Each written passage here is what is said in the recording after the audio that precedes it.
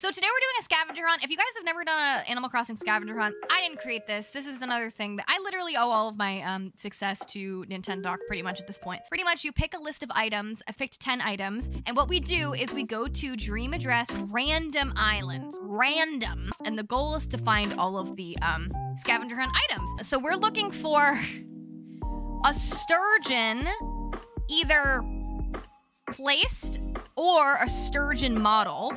Oh my god, am I gonna literally find the freaking sturgeon on this island, guys? Am I gonna find the freaking sturgeon on this island? The sturgeon is giant, right? So it's none of these. I don't see it. I don't see it. I see like all of the other ones. If there's ever gonna be an island as a freaking sturgeon, it's this one, and we don't see it. All of the other freaking fish. I definitely didn't miss it, right? I can't believe this. Your island's great, but I hate it.